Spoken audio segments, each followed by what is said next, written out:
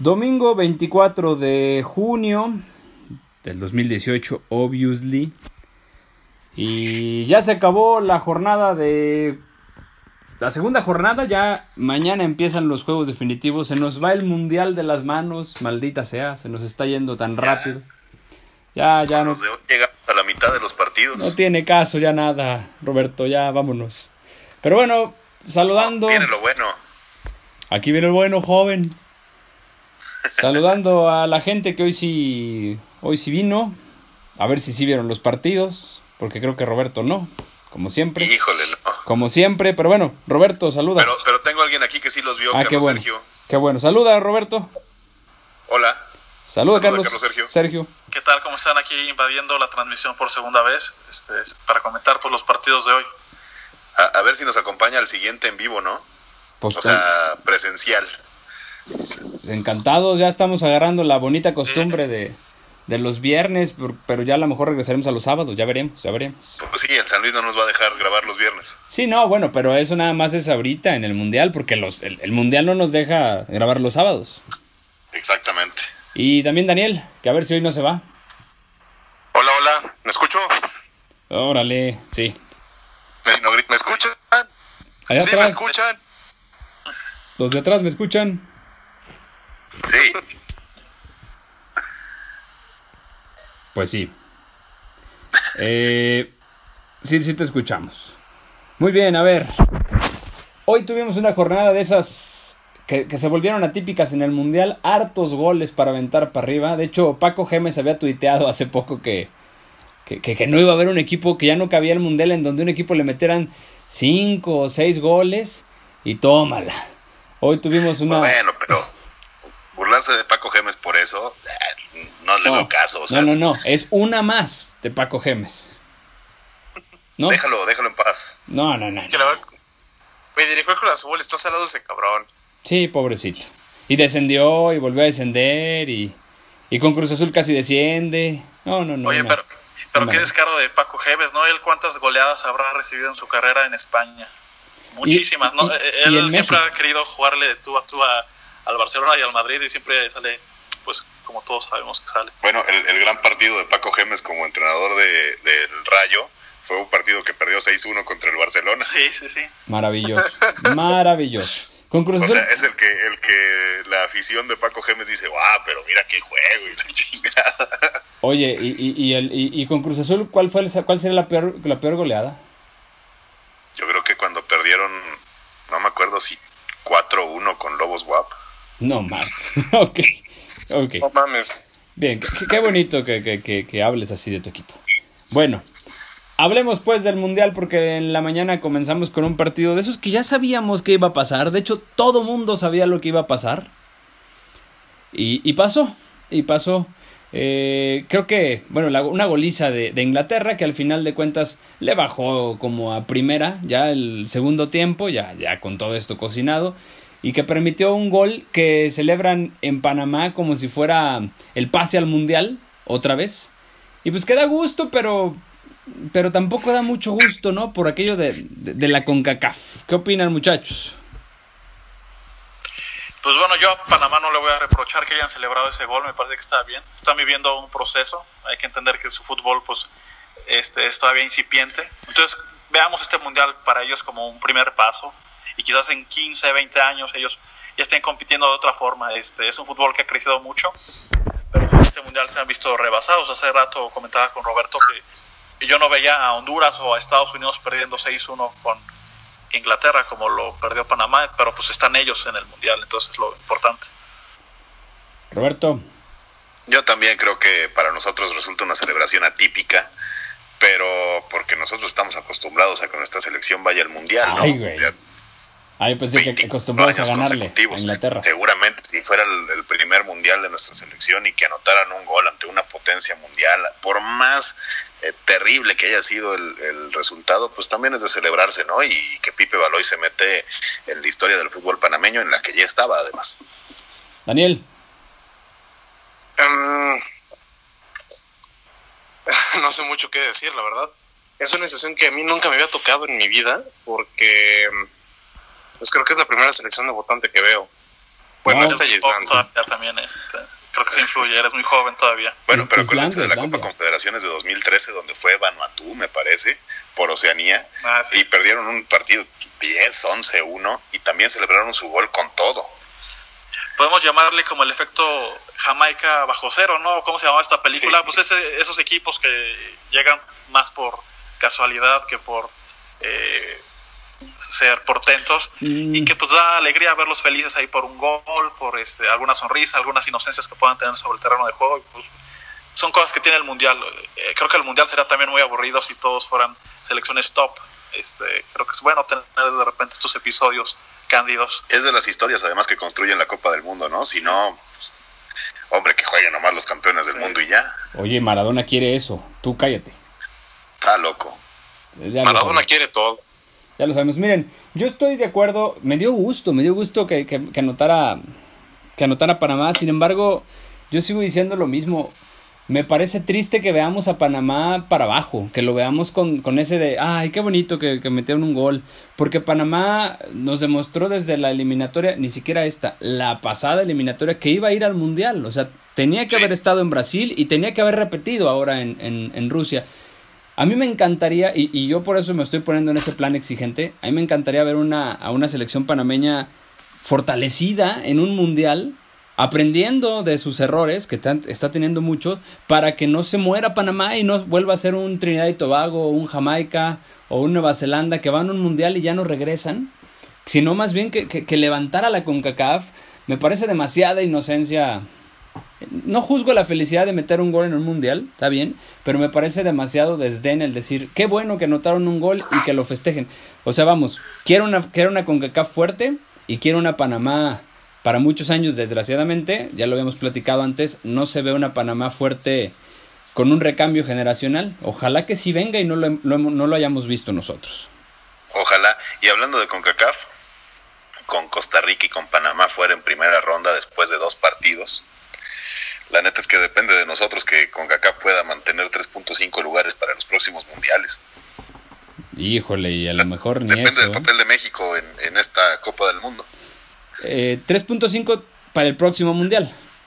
Para, para Qatar. Sí, sí, sí, sí. Porque ya después pues ya se viene la desbandada, ¿no?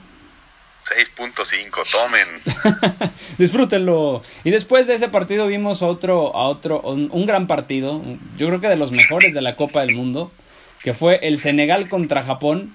Gran partido de ¿Quién iba ambas selecciones. pensar, verdad? Exactamente. Cuando ves el calendario, el, el Senegal-Japón no se te antojaba para nada. ¿no? Y fue un gran partido, las dos selecciones jugando a ganar.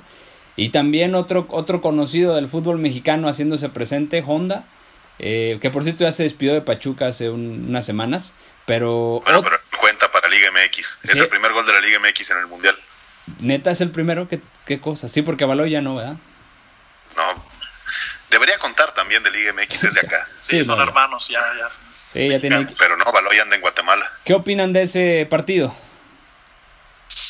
Eh, yo también lo vi a ratos, no, no lo puedo ver los 90 minutos, pero coincido contigo, a mí me sorprendió. Era el minuto 88-89 y aunque el empate creo que beneficiaba a ambos, los dejaba con vida, se seguían atacando con todo. Este, fue muy emocionante ver a los japoneses que siempre en los mundiales animan con ese juego vistoso, ofensivo, muy de supercampeones en efecto, solo que chafa porque siempre terminan este, faileando por ahí. Pero esta vez este, no lo hicieron y con cuatro puntos, si mal no recuerdo, tienen altas probabilidades de pasar a octavos. Este, a diferencia de Senegal, que sí va a tener que verse las duras en la última jornada contra otro equipo que pues está potente. Eso, eso es verdad. Este, Roberto, ¿tú algo que quieras decir de ese partido? Yo lo estuve escuchando el, el segundo tiempo, no pude verlo, pero sí estuve siguiéndolo en radio. Eh, creo que Senegal, después de muchos años sin estar en Copa del Mundo, refresca, ¿no? O sea, eh, no sé si se acuerdan de que hablábamos hace unos meses de la revolución del fútbol africano, que había dejado de centrarse en el África Central Valga la redundancia. eh, mutaba más bien hacia el África eh, del norte y al final resulta que no, que los que siguen con vida son Nigeria y Senegal, que son las dos selecciones del África Central que lograron meterse a la Copa del Mundo. Que se pueden ir ambas, ¿verdad? Pero sí, ahí están. Sí, ahí siguen, Daniel. por lo menos siguen con vida. Exactamente. Daniel. ¿Quién iba a decir, empezando el mundial, que, que Senegal y Japón iban a ser eh, los líderes de, ese, de ese grupo, ¿no? Sí, ya, ya habíamos dicho eso, caray. No te creas, síguele. síguele. Eh, creo que interesante la manera de juego de los dos, porque pues jugaron a, a ganar, jugaron al tú por tú y me parece interesante. Al Sí. que creo que peor le salió la jugada fue a Senegal, porque mm, juega contra Colombia y Colombia, por lo que demostró hoy, puede meterse. Es verdad. Pero no va a ser un plan, ¿eh? No va a ser un plan Senegal para Colombia. ¿Cuál? ¿Quién? ¿Cómo? Senegal para Colombia. No, va- van a dar batalla. Eh, Espero, espero. O sea, quiero decir, no quiero hacer un Paco Gemes, pues. El, Sí, el- cállate. el- el riesgo existe siempre que uno quiere hacer pronósticos, ¿no? Por eso dicen que más vale ser historiador. Eso, Pero eso oye. es verdad. Vas, vas, vas. No, no, adelante. No, eh, yo creo que sí, a, a priori creo que el partido Colombia-Senegal es de los más atractivos de la última jornada de la primera ronda. O sea, son dos equipos que dejan jugar, que tienen un ataque vistoso y que están obligados a sacar un buen resultado. Entonces, creo que ya se viene un- uno de los grandes menús este, de esta última parte del torneo. Bueno, de la primera ronda del torneo, quiero decir. Sí, va a estar bueno. A mí me gustó muchísimo el partido de ida y vuelta, muy movido, ambas selecciones intentando ganar, no importando eh, en, en qué momento y en qué parte de la, de la cancha. Y por último, para cerrar esta jornada, de la última de tres partidos, eh, el, eh, Polonia se quitó el disfraz de cabeza de serie y cayó en la realidad, en la realidad en la que tiene y quedó pues eliminado. Eh, La gran falacia que se construyeron durante cuatro años Sí, para no, lograr ser cabeza de serie y que le salió. pegándoles con tubo. Y que le salió, ¿eh? Porque también si, si Italia se colaba, adiós. Sí, O Chile. sí, fue un riesgo, fue un riesgo. De hecho, estaban por debajo de Suiza hasta la última jornada del eliminatoria Fíjate. mundialista. Fíjate, qué, cosas. Y pues fíjate que terminaron tan mal con un, en un grupo que se veía pues a modo. Eh, ahora se- les queda cerrar con dignidad, me- a ver si, a ver si pueden hacer algo. Eh, pero Colombia les pasó por encima de una cosa maravillosa. Y yo voy a defender a otro, a otro de la Liga MX, a Mateus Uribe, que creo que sí marcó una diferencia antes, antes de Mateus y después de Mateus Uribe. Sí, buen jugador, Mateus. Bastante. Poca atención le hemos puesto por jugar en el América. Bueno, es que pues, ahí quien, quien lo ve, pero, pero bueno. ¿Qué opinan? La verdad, Polonia se, se murió de nada. Creo que es este una, una de las grandes excepciones del Mundial. Y no porque esperáramos mucho de ellos, sino porque es un equipo un poco carismático, que no se murieron en el terreno de juego, que tiene algunas individualidades interesantes. O sea, uno esperaría más de ellos que de Arabia Saudita. Pero no sé, yo a los saudíes les vi más sangre que a los polacos, que simplemente fueron inoperantes en estos dos eh, partidos y que pues están ya merecidamente eh, eliminados. Es, eh, es el paradigma del pecho frío que tanto le gusta a los argentinos que son amigos aquí de Rocha. Pero la verdad, Polonia, este, eh, pésimo. Y, y bueno, honor a quien honor merece. Yo la transmisión pasada había descartado a Colombia como candidato y, y Netflix me dijo, este, o comentó que, que no, que todavía estaban ahí. Y la, la verdad es que con este 3-0 se ponen de nuevo ahí, o sea, como una candidatura seria que en octavos y en cuartos podría este, competirle a quien sea. Daniel, Em, creo que todos en general esperábamos más de, más de Polonia. Y no porque la selección polaca tuviera muchas figuras, sino por, por, por su figura que era Lewandowski, mm, que esperábamos que levantara a, todo el equipo, cosa que no fue así. Polonia se vio muy mal, demasiado mal.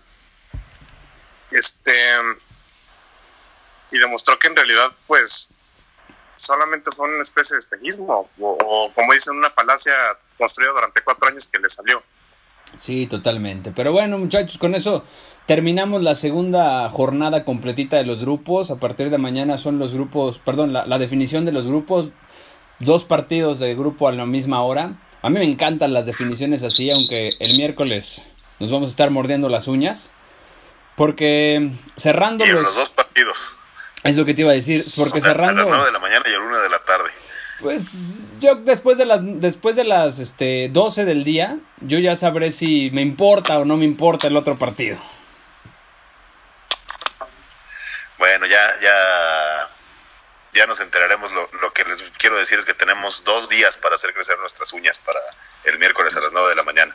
Y por favor, este, pero fíjense ya cerrando esto, eh, ¿quién iba a pensar? Quién, bueno, tal vez sí lo pensábamos, ¿no? Pero que el único grupo que quedó total, totalmente abierto es precisamente el grupo de México, que ahora terminó siendo el grupo de la muerte, porque hasta el cuarto lugar se puede meter con una combinación de resultados. Y, y los cálculos que hacíamos, que, que hacer cinco puntos y hacer seis, a final de cuentas, pues es la verdad, ¿no? O sea, llegas a un grupo tan competido que aún con un muy buen mundial que ha dado México, podría quedar fuera. Es lo que hablaba con Carlos Sergio hace rato ya. Digo, ojalá no pase, pero me, creo que podríamos imaginarnos el escenario en el que México, por alguna circunstancia del fútbol, perdiera el miércoles y quedara eliminado. Ay, ¿cuál sería el, la lectura correcta, no? Es complicado y ojalá que no, que no llegue ese escenario. Pero sumado, sumado a esa parte, este, est- est- estás como entre la espada y la pared, ¿no? Tienes una eliminación prematura en un mundial que sería la peor participación de México, no en el papel, sino en los, en, en, en, en- el lugar, en las fases. Desde el 94, es más, desde el 78, si, pues, si nos vamos lejos, de los que ha participado México. Y, o, o bien la mejor clasificación, la primera fase, la primera de la historia, la mejor, puede ser hasta de nueve puntos, pasando caminando. Y yo nada más les, ayer, ayer, ayer platicábamos escenarios, Daniel y yo, este, que, que son muy, uff, pero imagínense que no le hubiéramos ganado a Alemania, imagínense que nos hubieran empatado con ese, ese, ese travesaño, ese poste que, que, se estrelló, y que hubiera sido un 1-1, hoy estaríamos peor de lo que estamos. Sí, y la verdad es que aún ganando y pasando como primeros de grupo, esta situación es muy incómoda. Este, me explico. Con seis puntos uno esperaría estar del otro lado y usar el tercer partido para descansar algunas figuras. Sí. Y para eso darle me- minutos a JJ Corona. también para eso. Pero es una ventaja que México ya no va a tener, un handicap que pudo haber tenido este, para un torneo que es breve pero también intenso. O sea, el haber tenido un partido de descanso a mitad del torneo pensando que llegaríamos hasta la final, ya no lo vamos a tener. O sea, Osorio no va a poder rotar demasiado si es que quiere este, llevarse los tres puntos, aunque bueno, con él nunca hay que descartar nada. Exacto. Eh, pero este partido, este tercero era ideal para llegar ya este, descansando a dos o tres jugadores, administrando, pensando en octavos y ya no va a poder ser así. O sea, hay que salir con todo, este, arriesgarse a lesiones de figuras importantes. Eh, Entonces, ya incluso este, pasando como primeros y aún antes de jugarlo, creo que México ya tuvo aquí una, un pequeño inconveniente que, sin embargo, pues, tampoco hay que tirarnos al suelo. ¿eh? No, y También hay que- estaba en el presupuesto llegar con, en la mano al último Sí. partido. Esa fue una circunstancia que perdimos ayer a 10 segundos de que lográramos, pero de la que hubiéramos estado agradecidos, ¿no? Eh, Desde en el presupuesto inicial siempre fue llegar a jugársela con todo al, al- al tercer partido. Tenemos la ventaja de que el empate nos da la clasificación y además el liderato del grupo. Sa- ¿Saben qué otra cosa que creo yo también es muy importante?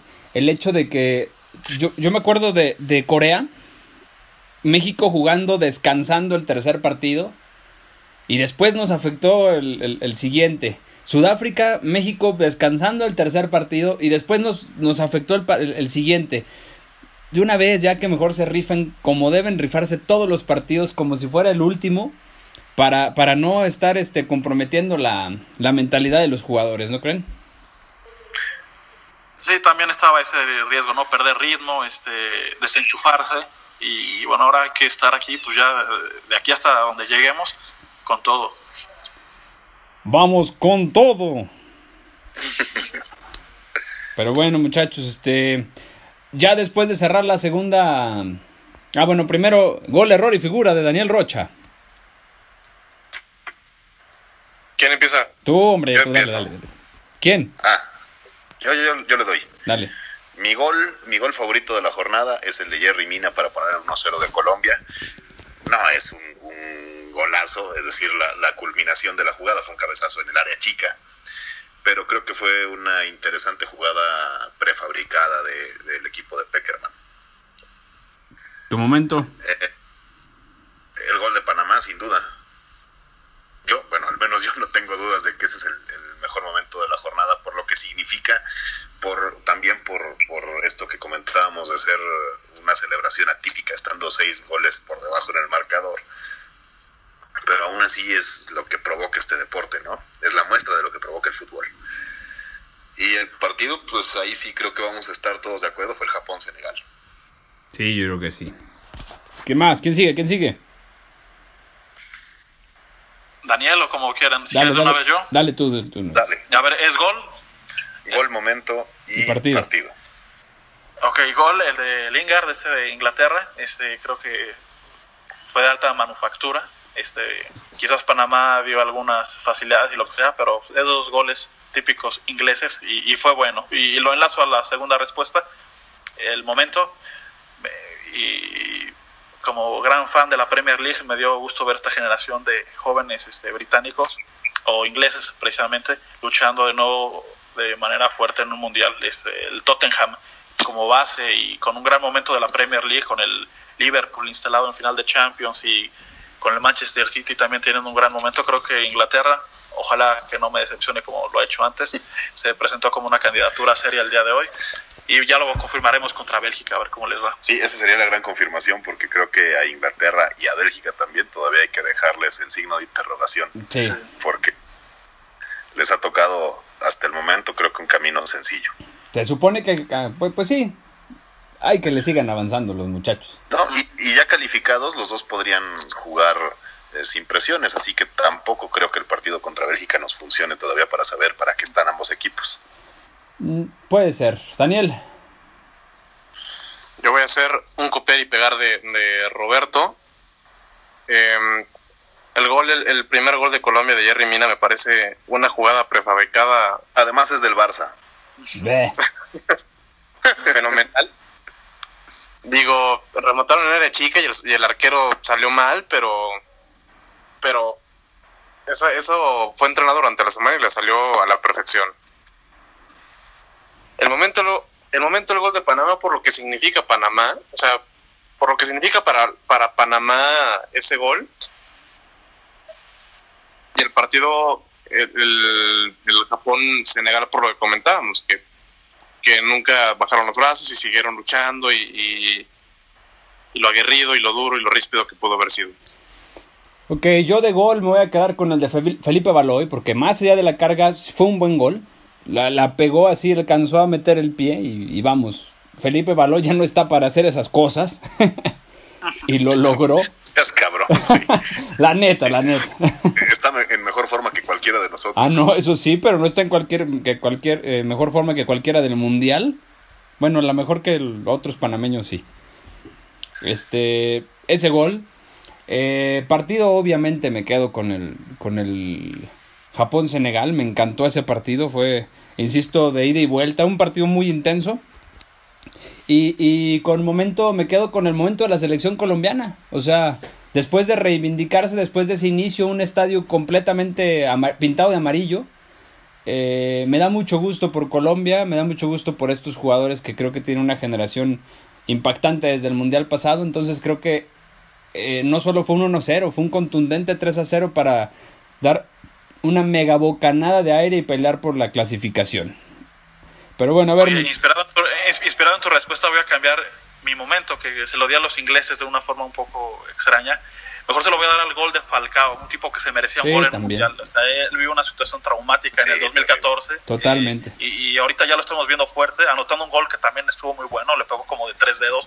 Y creo que el, el fútbol se lo debía y verlo ahí celebrando con sus compañeros, pues creo que nos dio un alivio a todos eh, los que lo admiramos, que creo que somos todos. Sí, sí, totalmente. Pero bueno, a ver muchachos, este, hicimos el experimento el, el- el viernes pasado, lo volvemos a hacer ahora ya con la jornada 2 cerrada. Eh, uno, un equipo que voy a ser campeón del mundo para cada uno de ustedes. Híjole. es que deja más dudas que. No, yo que- lo sé, pero a ver, vamos, vamos. Esas Comprométase, la Mundo. comprométase.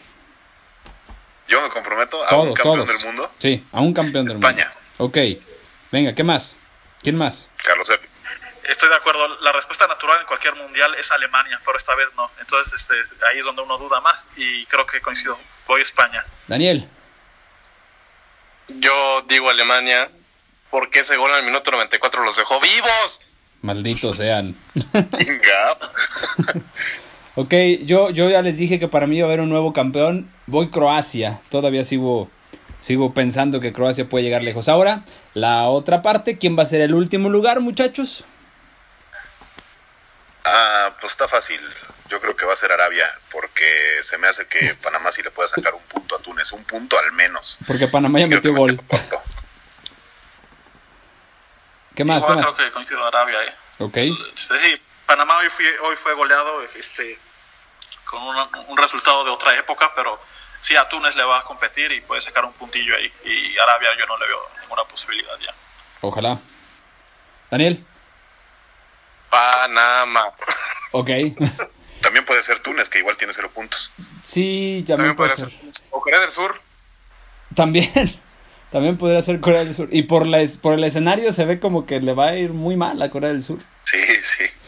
Este, no. Ya decís que ojo con los alemanes enojados. Sí, exactamente. No, pues yo voy Corea. Hace ahora que me lo recuerdan, sí. Iba a decir, iba a decir Túnez. Pero porque creo que mañana Egipto y Arabia pueden salir a jugar un amistoso.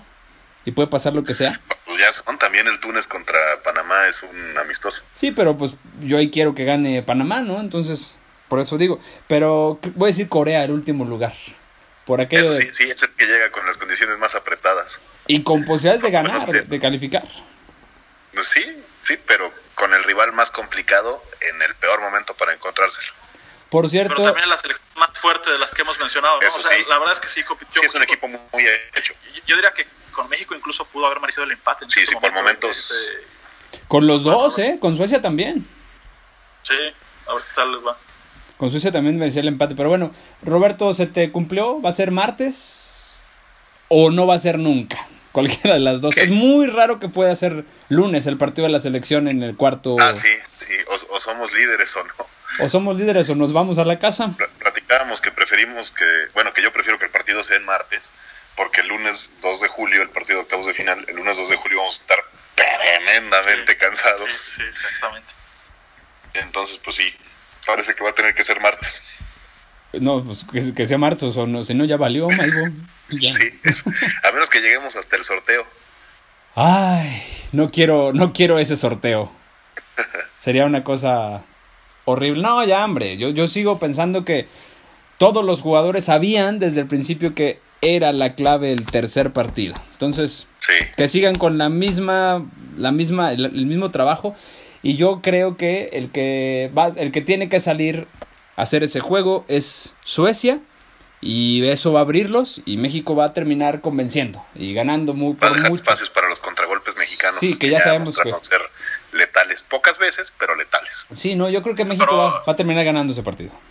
Pero, a ver, les dejo un, un escenario. O sea, Suecia anotando en los primeros 15 minutos, a, a ver cómo rompes ese trabuco, que ellos Sí, son muy buenos. haciendo. Italia no pudo. Sí, a ver. este, Entonces, bueno, hay, hay que estar con cierta atención, creo. Ah, no, no me pongan más nervioso. Espérense. Si por ser. No, ayer- ya, ya hay que subirnos al carrito de la victoria que, que sí, tiene México. súbanse, súbanse al barco de Osorio, yo los invito. Sí, ya, ya, Yo ya me trepé. ya Ya, estamos en la final. Yo tengo bien trepado, pero otras cosas, amigos. Este, que, que ayer platicamos del otro escenario. Imagínense un 0-0, minuto 85. También sería una cosa, hijo de la. Sí, tan- no, tan- no, tan no, cerca. tan- no, y Márquez lo expulsan. A mí me ha sorprendido que a Márquez lo estén poniendo como una solución en estos dos partidos. A mí me parece arriesgado y creo que ha sido el pequeño error de Osorio. Pues Este, con- pero bueno. pues contra Pues con Corea casi. muy bien, ¿eh? contra Corea casi es nos cuesta. Recibir la pelota y pasar, mandarla a la chingada, ¿no? sí. Oye, pero contra, de 30 metros. contra Corea por poco nos cuesta, ¿eh? Se equivocó ahí. Eso sí. Ya nos iba a caer el gol. Que hubiera esto, lo hubiera puesto todavía peor el asunto. Pero más que homenaje, yo creo que estructuralmente se ha cumplido con una función muy específica que no sé si nos vaya a servir primero para Suecia y luego para el resto del Mundial. Para los dos partidos, para los dos escenarios que había contra Suecia y contra Alemania, perdón, contra Corea y contra Alemania, funcionó con ese error ante Corea pero creo que a partir de ahora ya hay que limitar las actuaciones de Rafa Márquez. Pues solo lo sabe el profe Osorio, nosotros que, Maigo. Yo confío, yo confío en el profe. Lo que él decida será bueno para nosotros. Ojalá, ojalá que así sea. Pero bueno, pues vámonos, amigos, vámonos, vámonos Maigos, este... Ya mañana tendremos la primera definición de dos grupos y ya hablaremos de los primeros cruces de octavos de final. Entonces, pues a ver qué, a ver qué nos depara este lunes futbolero. Este, con estos partidos que al menos a mí me emocionan demasiado. No sé si ustedes también. Sí. Son muy buenos. también. Digo, Que se cuide Cristiano, ¿eh? A ver qué. Sí, digo, desafortunadamente los de la mañana ya están decididos. No, Irán se puede meter todavía. No, los de las 9 de la mañana. Ah, ya, ya están Rusia y Uruguay del otro lado. Ya nada más, el bueno va a ser a la una de la tarde. Sí. Pero bueno, pues vámonos. Vámonos riendo. Hasta luego. Adiós. Sobres.